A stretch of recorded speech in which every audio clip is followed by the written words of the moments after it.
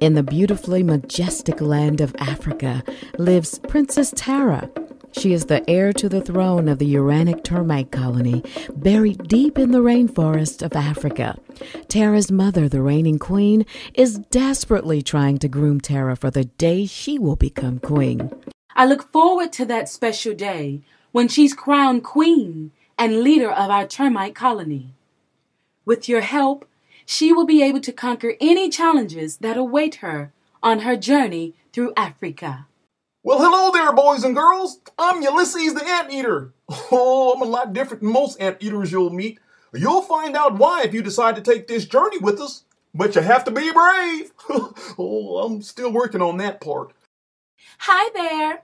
I'm Sasha the Firefly, and also the prettiest and brightest of them all. I will help light the path for Princess Taira as we travel through the jungles and caves of Africa. New construction and development by humans destroys Taira's home and sadly takes her mother's life.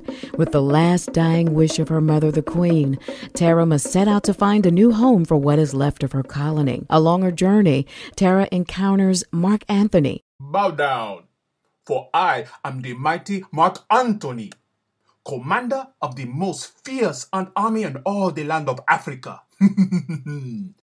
Welcome. Come journey with me and my friends through the jungles of Africa. But I must warn you, hot on our trail is the evil Mark Anthony and his fierce ant army trying to capture us.